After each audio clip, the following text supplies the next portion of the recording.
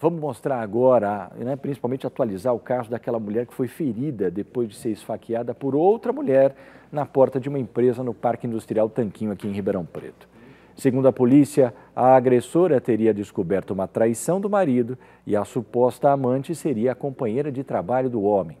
Ela foi até a porta do trabalho dos dois e quando a mulher chegou, ela deu cinco facadas. Falamos sobre isso ontem, inclusive, né? Você vê todas essas imagens. A autora chegou a fugir, mas acabou presa pela polícia militar.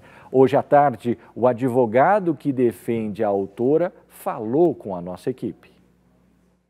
O advogado diz que foi procurado pelo marido da agressora para atuar na defesa. Toda a família está bem abalada. É uma situação que chocou a todos, pegou a todos de surpresa e é uma situação que naturalmente abala as pessoas.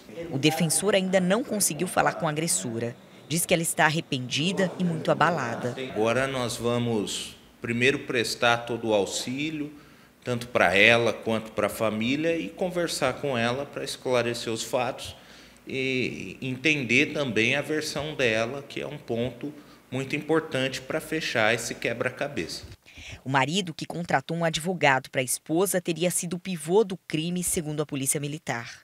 A esposa teria descoberto uma traição dele com uma colega de trabalho e foi atrás da mulher. Ela disse que o relacionamento dela com o marido já não vinha muito bem há um tempo, né? e ela teria descoberto que ele estava se relacionando com uma outra funcionária do, lá do, do serviço dele, né? onde ele trabalhava. E ela ficou sabendo quem que era essa pessoa através de fotos no celular dele. Né? Ela foi até lá com essa faca e ficou aguardando a, a essa moça chegar para trabalhar e foi onde aconteceu. Uma câmera de segurança registrou a mulher chegando no trabalho. Antes de entrar, ela é surpreendida pela agressora. De longe, dá para ver quando a vítima é atingida pelos golpes de faca. Algumas pessoas tentam afastar a agressora. E para a polícia, se não fosse a atitude dos colegas de trabalho da vítima, ela tinha sido assassinada. Pelo que foi narrado para nós lá no momento, ela foi lá para isso. Para cometer o homicídio mesmo, para consumar o fato. Né? Ela só não consumou devido à interferência desse outro funcionário. A vítima foi atingida por seis golpes de faca. Foi da cintura para cima, né? No tórax, pescoço, cabeça, um total de seis perfurações, porém duas perfurações graves. Né? A vítima ela acabou sendo transferida para o HCUE para passar por cirurgia, porém consciente, aparentemente não correndo risco de vida. A agressora deixou a faca caída na rua e fugiu para o apartamento dela, onde foi presa. Ela se entregou normalmente, estava calma, já se mostrava arrependida do que tinha feito, não é? Foi no momento de desespero mesmo. O tenente chegou a conversar com o marido da agressora, que ainda não tinha saído para o trabalho. Ele explicou isso para nós, que realmente o casamento dele não estava numa, assim, numa, numa estabilidade a contento já há um certo tempo, né? E, enfim, ele não deu muitas explicações, né? Ele também não esperava que isso aí fosse acontecer, né? Para ele também foi uma surpresa.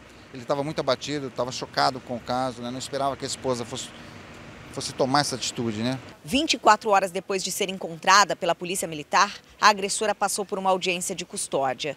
A prisão em flagrante foi convertida em preventiva. Isso porque a justiça entendeu que ela deve permanecer presa. O advogado diz que vai entrar com um pedido de habeas corpus. O juiz da audiência de custódia, ele tomou uma decisão da qual nós discordamos, vamos recorrer tanto para o juiz que for designado para cuidar desse processo, se for o caso, vamos para São Paulo, vamos para Brasília, através de habeas corpus, e a tendência é que agora ela seja encaminhada para um centro de detenção provisória feminino.